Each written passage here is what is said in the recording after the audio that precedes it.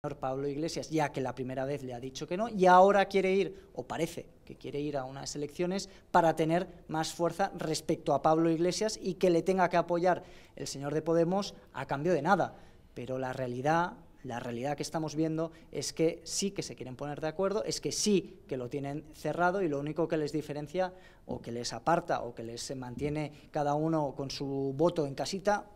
los, eh, los sillones en este caso. Y déjenme decir, como economista también, y no me puedo resistir, es que todos los datos, como ya marcaba al principio, es que tenemos una crisis económica y creo que eh, cuando vemos el índice de producción industrial, cuando estamos viendo la desaceleración en la creación de empleo, cuando también estamos viendo que hay una guerra comercial a nivel mundial y que Europa parece que va a ser la peor eh, tratada de todas, pues eh, cuando también podemos ver cómo están situados los demás países, por ejemplo Alemania, pues tiene un paro eh, bajísimo respecto a lo que tiene España. Una crisis en Alemania no afecta de la misma manera que puede afectar a nuestro país con más de un 14% de paro y que además, quiero recordar otra cosa, que tenemos más del 100% de déficit, entonces de déficit, uff, 100% de deuda. Eh, el déficit es eh, algo que tendríamos que mantener para poder